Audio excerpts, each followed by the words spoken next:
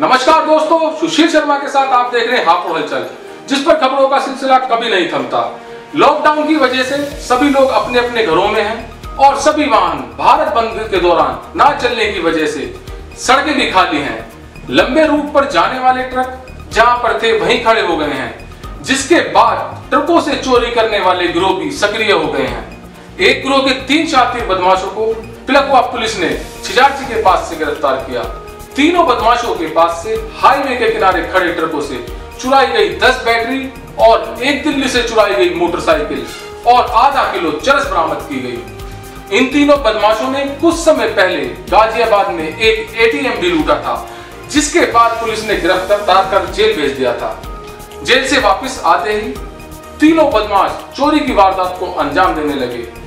तीनों बदमाशों को करीब 27 मुकदमे दर्ज हैं और पुलिस इनको गिरफ़्तार करके जेल भेजने के जुट गई है। तीन छात्र बदमाश गिरफ़्तार किए हैं जो लॉकडाउन में खड़े ट्रकों से बैटरी चोरी कर रहे थे और चरस बेच रहे थे। क्या बुरा मामला है और किस तरीके से गिरफ़्तार किए गए?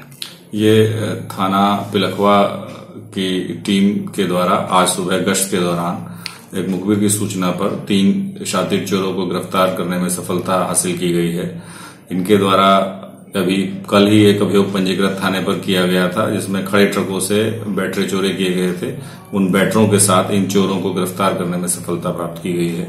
इनके कब्जे से चरस भी बरामद हुई है और इनके कब्जे से एक चोरी की बाइक बरामद हुई है। इनका एक अच्छा खासा आपराधिक इतिहास है। ये पूर्व में एटीएम काटने में जेल जा चुके हैं, हापुड़ से भी और आसपास के जनपदों से भी। कितने मुकदमे होंगे इन पर?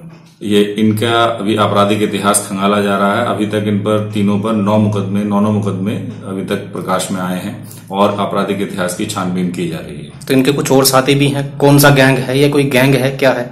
इनके और साथियों के बारे में भी अभी जाँच पड़ताल की जा रही है।